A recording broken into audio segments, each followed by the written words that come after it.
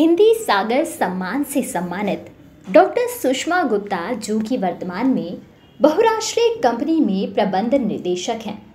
कई समाचार पत्रों एवं देश विदेश की प्रतिष्ठित पत्रिकाओं, नया ज्ञानोदय, पाखी, हंस कादम्बनी एवं हरिगंधा में भी इनकी कविता, कहानियाँ, आलेख समीक्षाएँ प्रकाशित हुई हैं।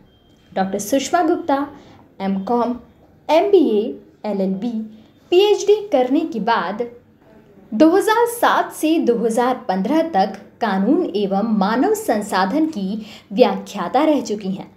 अस्तित्व तड़पन, मन का चौला, वरदान सहित आपकी कई कविताएँ हैं जो चर्चित हैं। आपका एक एकल कविता संग्रह व अनेक साझा लघु कथा व कहानी संकलन प्रकाशित हो चुके हैं।